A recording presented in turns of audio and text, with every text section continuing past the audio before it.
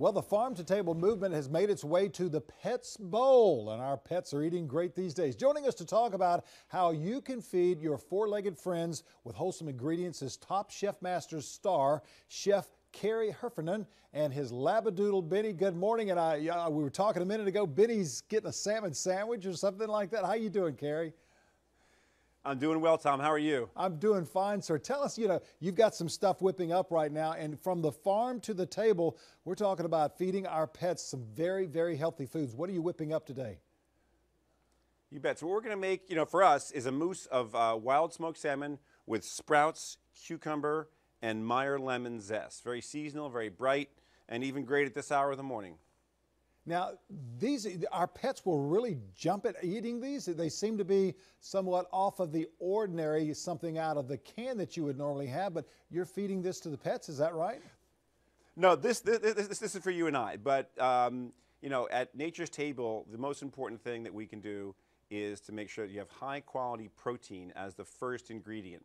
Things like ranch raised beef, bison, cold water salmon these, these are the first ingredients you'll find when you're looking at the ingredient list, which you should do you know, for yourself, obviously, when you're looking to buy something, but you should also consider the same thing and having uh, high quality uh, foods that are raised by people that you know and trust. And that's the whole idea of farm to table for us. And I think it should be no reason not to carry it over for our animals.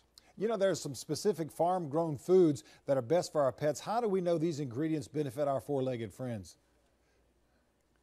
Um, well, I think it's been proven that this, the same things that are healthy for us are, often healthy for our animals. So lean, high quality protein, uh, complex carbohydrates, things like legumes, fruits, vegetables, you know, apples, cranberries, uh, we have peas, carrots, all these things that are just as healthy for you and I are great for your animals as well. And it's just the way you actually prepare it a lot of times because a lot of dogs, especially dogs or cats, might not like just a straight carrot, but if you mix it together with something then you've got an ingredient that they'll just lap up and eat, eat like crazy.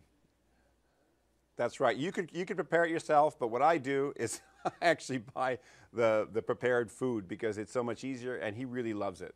And now we're seeing Benny right there. I mean, gorgeous labradoodle, no doubt about that. What's one of Benny's favorite foods?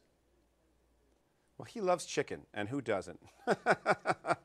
oh yeah. Now, does he like it? Does he like it on the grill, or does he like it prepared? Because you are the top chef there uh, with with the food industry for the dogs. But I mean, what what does he like to normally have? Grilled, barbecued? What does he like?